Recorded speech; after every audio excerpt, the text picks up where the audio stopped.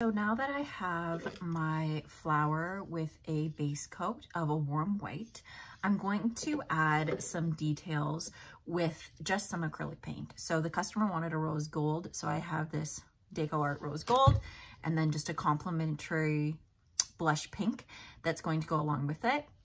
I have two paintbrushes here, um, just a straight flat uh, craft paintbrush that I got off Amazon. It comes in a set.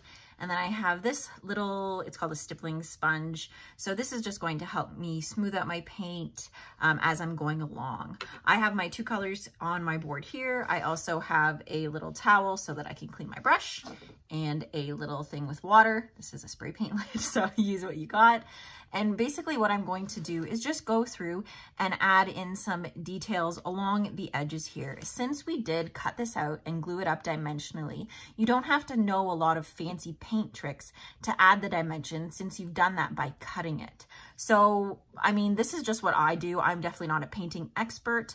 Um, but again, I'm just going to use my colors. I'm going to go around the edges and then I'll use this sponge to smooth it out. I'm going to speed up the video because it is a very slow process, um, but you'll be able to see what I'm doing um, sped up. And when I'm done, if you have any questions, feel free to ask.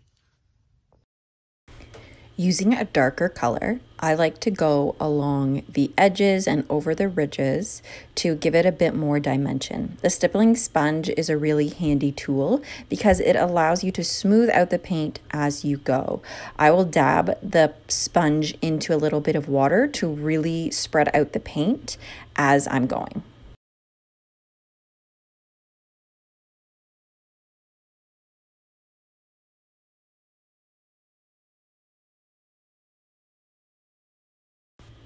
As I get to the outside edges, I'll use the stippling sponge quite freely to really get the color to expand fully outwards with the petals.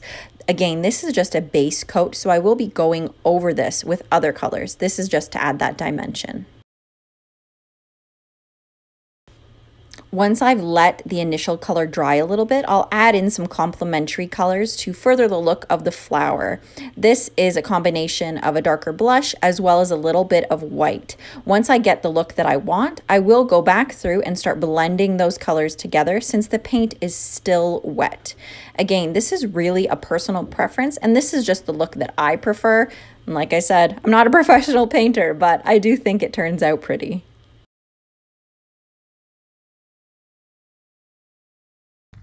So when you're painting your flowers, I really don't have a hard and fast technique that I go by. I really just sort of follow my gut and see what looks good. With flowers, it's really good to use multiple colors.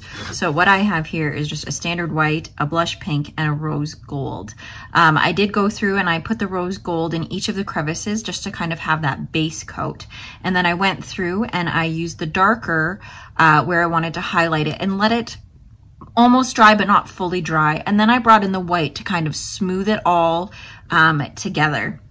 With flowers, you'll see that a lot of the times you'll have lighter outer edges and then they get darker in the center just um, based on, you know, how flower generally looks. So I do try to add a little bit of lightness on the outside edges and then allow it to be a little bit darker on the inside.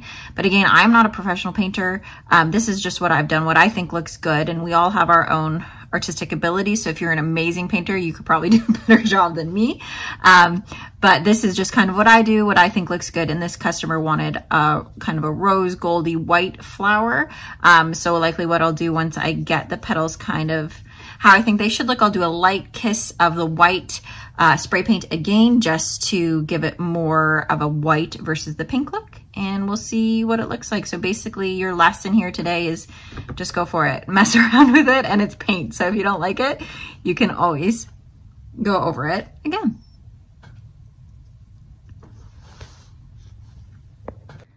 So you can see there now it is a whitish pink rose. The paint is still drying, but with just some mixed paint, it gives it much more dimension, makes it look much more floral. Um, I'll clean up these edges and then it will be done. So like I said, I'm not a professional painter, um, but I have found that if you add just a little bit of color, um, play around with it to your liking, you can make something pretty, pretty.